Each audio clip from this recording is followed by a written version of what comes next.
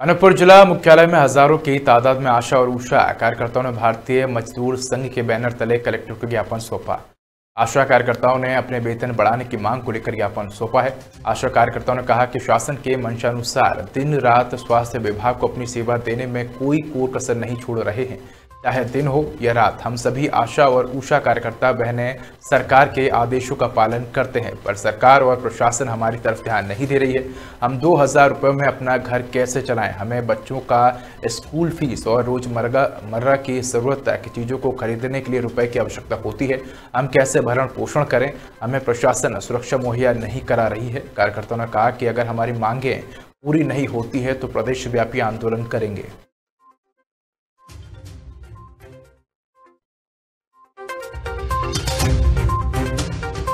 हाँ मांग इन्होंने दिया है कुछ हैं छः बिंदु हैं।